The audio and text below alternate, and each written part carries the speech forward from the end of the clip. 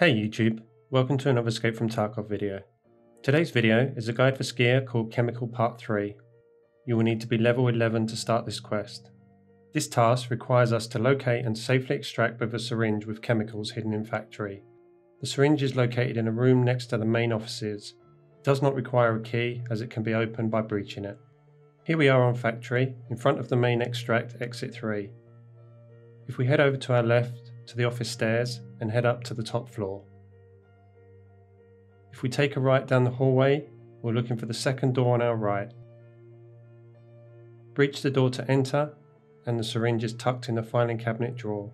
You will need to safely extract with the item to hand it into Skier.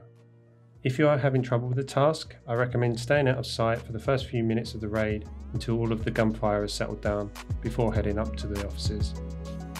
I hope you found this video helpful and it would be much appreciated if you could rate the video by giving it a thumbs up as well as leaving any comments below. Thank you for watching and until next time, good luck in Tarkov and take care.